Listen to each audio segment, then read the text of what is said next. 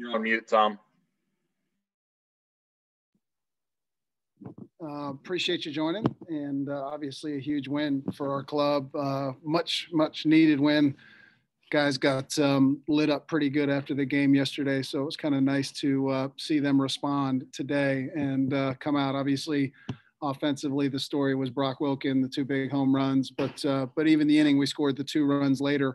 You know, I felt like we grinded some at bats. Um, it did a better job. Still struck out 15 times today, which is way too many, but. Um, but I thought up and down the lineup, our, our at bats were better. Um, you know, on the mound, you know, Will probably pitched a little better than his stat line. Uh, you know, obviously the air in the first inning, um, and and followed by the 0-2 walk um, in the first inning, you know, led to the four runs. Uh, but you know, I thought he gave us a scoreless sixth, a fifth and sixth scoreless, um, which was big um, to get a little more length. You know, we were hoping to go right to Minacci, and and because he threw that kind of scoreless six that enabled us to to kind of get two out of Cam and, and one out of Adler. Obviously, Cam was great tonight, and Adler made some really clutch pitches. Obviously, the three-two slider to the leadoff guy in the ninth was a huge pitch. Um, you know, I thought he struck the guy out to end the game. Didn't get the call.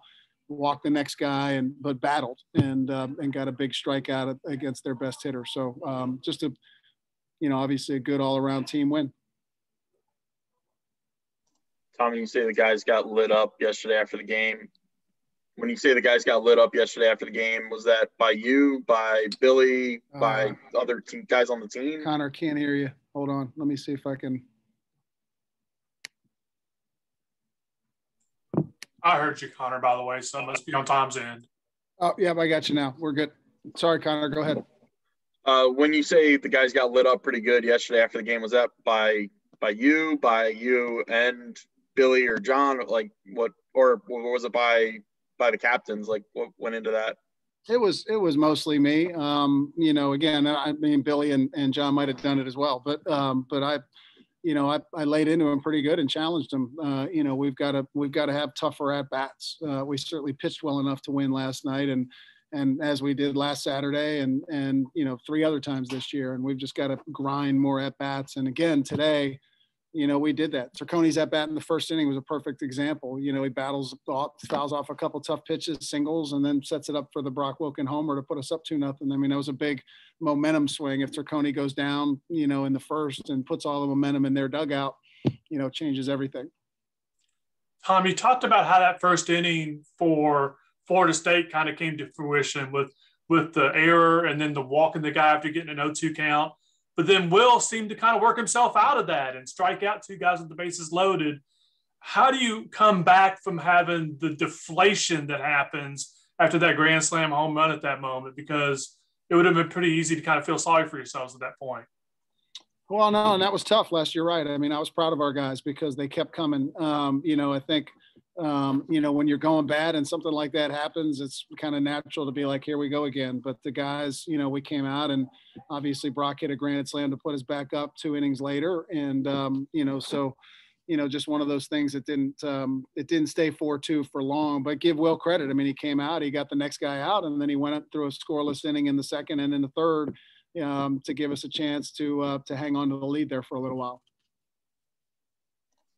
Tom, I, I know Brock's homers were are the headliner, but the over the shoulder catch in the ninth, I mean, look.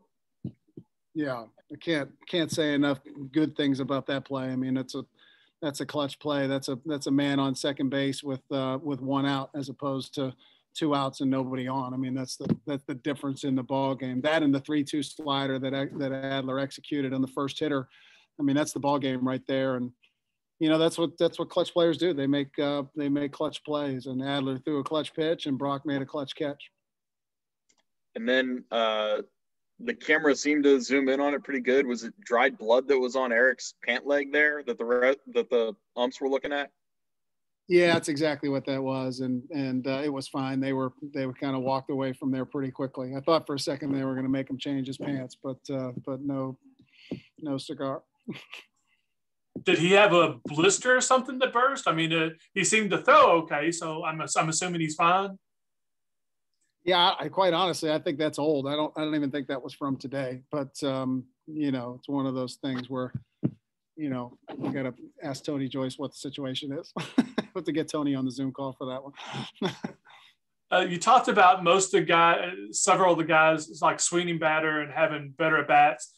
Uh, how would you uh, put Bobby Seymour in, as far as that goes? It seemed like he hit a couple pretty hard, just kind of in the wrong spot. Yeah, he lined out to left. I thought it was a good swing. Obviously, got kind of robbed there of a home run, um, or you know, kind of, you know, might have been a home run. So you know, you know, again, you know, you have two out of four quality at bats. I mean, we can we can live with that. Um, you know, for him, he put a, a good swing on two balls, and those will those will start to fall. I, I went up to him after the after that, and I was like, "Hey, man, just got to laugh about it, right? We just got to, you know, laugh about it and know that we'll get that one back somewhere. You'll hit one off the thumbs, and it'll fall. Um, so that's that's kind of how this game works. Once it starts rolling, it starts rolling pretty good. I guess the last thing I have is you talked about uh, needing to have that game where you you pound out 16 hits and really get it rolling. I think you got 10 today. It's not quite 16. So is this enough to say that, that the bats are back yet or not? No, I mean you've got to do it a couple games in a row to say that. I mean, I you know again, I, I it's closer. You know, I liked Lucas's at bats better today. I like Pierce's at bats better today. I liked Adam Cecere, Michael Ludwig's at bats were better today. Um, you know, so still Shane Muntz and Bobby, we need to, and Chris Lanzilli's at bats were better today. So again, I think, you know, we're, we're closer, um, but we've got to, we've got to put it together a couple games in a row before, before I'm ready to say that, um, that Rake Forrest is back. We're not there yet. Anything else, guys? Thanks, Tom. Add that Tom, you seem like you're in a better mood and better place than you were last night. Yeah, last night was a long night. That was, um, yeah, that was, uh, I put all my shoelaces in the hall. Thanks. What's up, guys? What's up, Brock? How's it going? It's going good. How are you guys?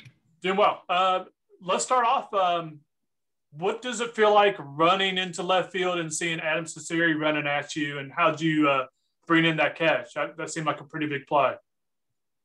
Uh, yeah, I, I kind of just saw at the bat and I was like, I got to go make this play. I knew he was playing a little deeper. Um, and the guy, the guy some juice. I knew he was playing deep. Um, so I really just knew in my mind, I just had to go make a play. Um, and it was one of those balls where you don't communicate. Um, you just go after it. And if he's got a play on it, he's going to go low and I'm going to go high. And I just happened to get there before he did and just made the play. Brock, um, Coach Walter said that he challenged you guys after the game last night and really lit India pretty good. Did you did you feel like that and you kind of take that as a little personal? Yeah, um, for sure. Um, even even when the coaches talk, um, even if it's not directed towards me, um, I, I, feel like it's my job as um, a, a team leader to to go out there and to try to do what the coaches ask of us each and every day, um, whatever it may be. Um, so I definitely did take it personal, not in a bad way. Um, just knew that I had to go out there and compete a little harder. So I guess two homers in your first two at bats today kind of you need to take things personal all the time and like the coaches need to yell at the entire team and, and get you fired up all the time. Like that needs to happen every game now. Yeah i guess so i guess so. It was just it, it, it was fun. It was fun. That was one of the most fun times i've had playing baseball for sure. I mean i just got i just got two good pitches to hit and put two good swings on them so it was it was a good day for the deacs. What was the what was your best moment of the day? The either one of the home runs or the over the shoulder catch in the ninth? Um,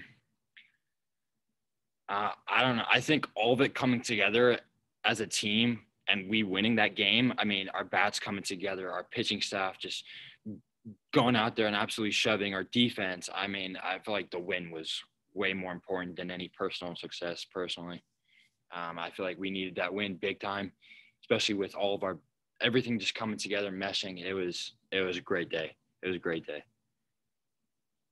How important for the team was this win, Brock? Um, I think it was was a momentum swing for sure. Um, I really think that you know we've been struggling as of late, and everyone thought, oh, it's just going to come together. Oh, it's coming together. But I think it really took the coaches to lit into us last night for us to get everything going and get everything moving in the right direction. Um, I think that kind of woke everybody up and had a reality check for everybody, and was like, I mean, the coaches were spot on everything they said, and I mean, I think that was that was huge for us today. What's the feeling on the field and then in the dugout? You hit a two-run homer, give the Deacs a, a two-run lead in the first inning, and then you guys kind of dig yourselves a little bit of a hole in the bottom of the first, right? And it looks like Will's going to pitch mm-hmm. his way out of it. He strikes out the two guys. It looks like you can get out of the inning unscathed, and all of a sudden, Florida State knocks out a grand slam home run how do you all kind of regroup and rebound from that? Um, I mean, it was just it was just one pitch. Um, it's it really wasn't that big of a deal. I mean, we're down two runs, and everyone everyone knows that with our lineup, um, that we, we we're gonna score two runs. Um, and especially after that first inning, um, even though they kind of got the momentum swinging back their way, I feel like we still had very good positive energy in the dugout. Um, coming after the bottom of the first. And I, I honestly, I walked in the dugout and I thought everyone was going to be down, and but it was the exact opposite, and that that really changed the game. Was the bottom of the first and having that positive energy in the dugout, even though we were down.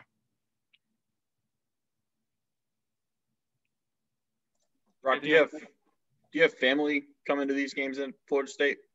Yes, sir, I do. Um, all my family. I got a couple really close family friends that are coming too. Uh, so it was just really special for for today to happen for me and us to get to win and them to be there for it all. So it was really special. Were they able to get to Miami too, or is this the first time they're seeing you this year? Yes, sir. My my uh, immediate family was there at the Miami game, um, and there was a bunch of people coming, so we didn't really have enough uh, room for tickets, so I couldn't give any more than four out. Um, so it was it was really special that some other people, really close people that I I called my family to come today. Um, that was that was really special for me. Thanks, Brock. Thanks, guys. Thank you, guys. Thank you, Brock.